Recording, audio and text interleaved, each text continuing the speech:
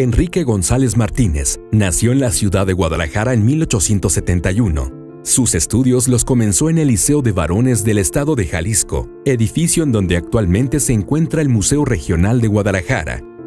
A los 14 años fue premiado por el periódico bilingüe The Song de Guadalajara por la traducción de un poema en inglés titulado La plegaria de Milton en su ceguera, y más tarde dirigió sus estudios hacia la medicina, titulándose a los 22 años como médico cirujano y partero.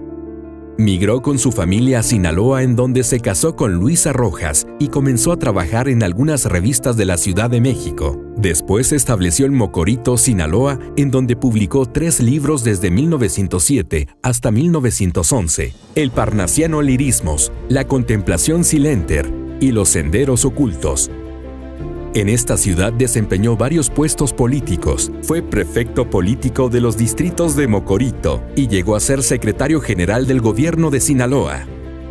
En 1911 se integró a la Ciudad de México como miembro de la Academia Mexicana de la Lengua y fundó la revista Argos. Fue subsecretario de Instrucción Pública y Bellas Artes en el gobierno de Victoriano Huerta y secretario general del gobierno de Puebla.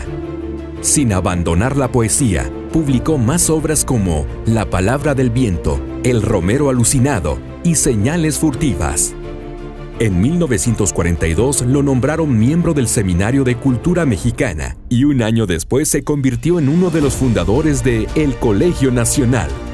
Falleció en 1952. Sus restos se encuentran en la Rotonda de las Personas Ilustres en el Panteón de Dolores de la Ciudad de México.